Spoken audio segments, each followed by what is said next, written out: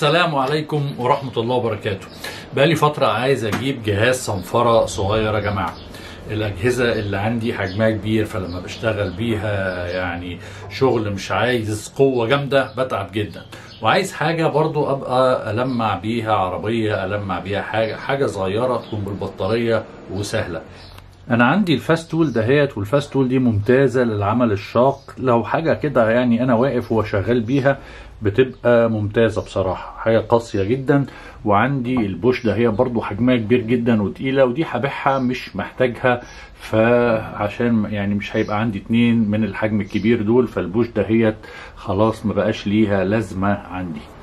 وأنا مسافر أنا طبعا كل الأجهزة اللي عندي من ماركة دو- DeWalt فقلت أجيب حاجة بالبطارية تشتغل على البطاريات اللي عندي ولقيت الجهاز الجميل دهوت كان معمول على آه، تخفيض.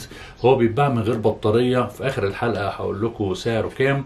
إنما هو جهاز بدون بطارية والبطاريات اللي عندي هستخدمها عليه. خلينا نفتح نعمل unboxing وبعد كده نجربه وأقول لكم في الآخر سعره إيه.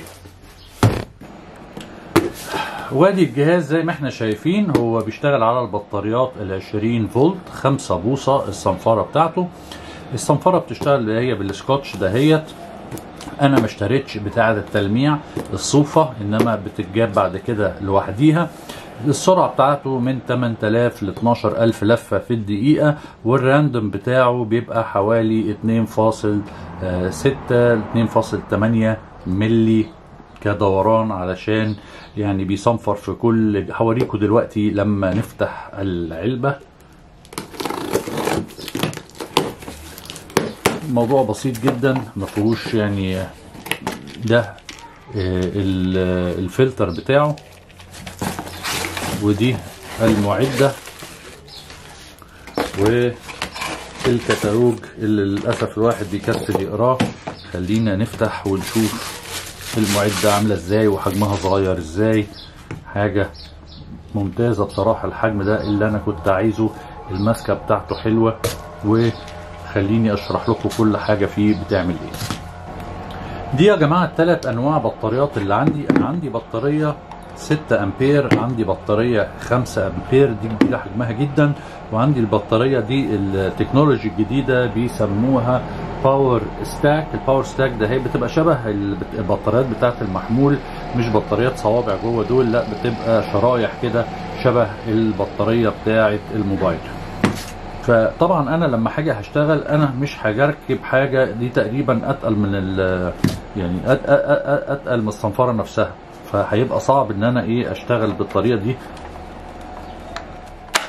طبعا حجمها كبير جدا فمش هشتغل بيها. ولا حتى الخمسة أمبير أنا جايبها بصراحة علشان أشتغل بال PowerStack دهيت حجمها صغير وقوية جدا.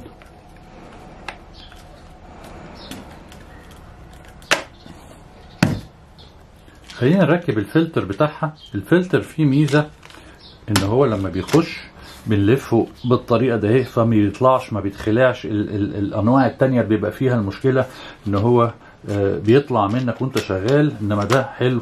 بيخش تلف لفة صغيرة كده مش هيروح في حتة. دي أول حاجة. الموضوع بسيط جدا. هنا في السرعات بتاعة الصنفرة. اللفة هتبقى سرعتها قد إيه. هنا جهاز التشغيل وهي دي الموضوع كله.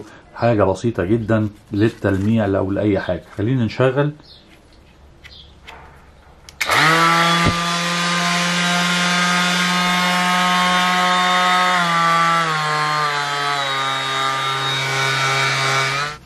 دي أنواع الصنفرة اللي هي بالسكوتش ده هي بيسموها hook and loop بتظبط الأخرام عليها وعشان تسحب الأتربة.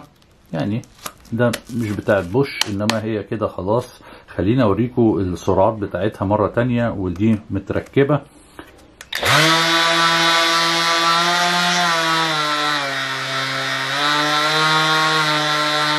خلينا نشوف كده إيه موضوع الصنفرة أخباره إيه عندها. هنعمل الخط الأحمر ده أتمنى يكون باين. وبالقلم الأسود برضو. ونشوف أخبار الدنيا هتبقى عاملة إزاي.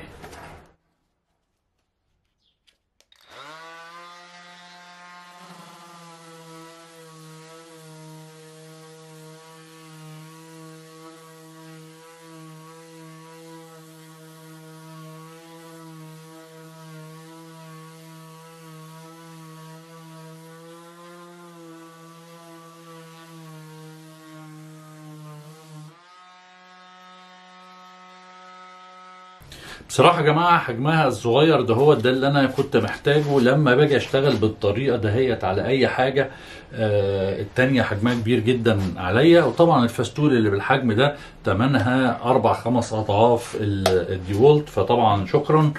السعر يا جماعة موجود على أمازون أو موجودة في كل حتة دهيت بس أنا كنت جايبها على سعر آه، زي ما إحنا شايفين بحوالي كانت ب 99 100 دولار. ونازلة خصم كانت عند المحل ده ب 169 وصلت ل 99 وما تنسوش لما بتشتروا حاجة من بره بيبقى فيه الضريبه حسب الولاية اللي انت فيها. أنا شايف دي ممتازة جدا. أنا هروح أشتري ال- الصوفة بتاعتها عشان التلميع. أعتقد بالحجم ده وبالقوة دي تعتبر إيه؟ كويسة. خلينا نشوف الدنيا هتبقى عاملة إيه. أشوفكم الحلقة الجاية. معلش طولت عليكم. والسلام عليكم ورحمة الله وبركاته.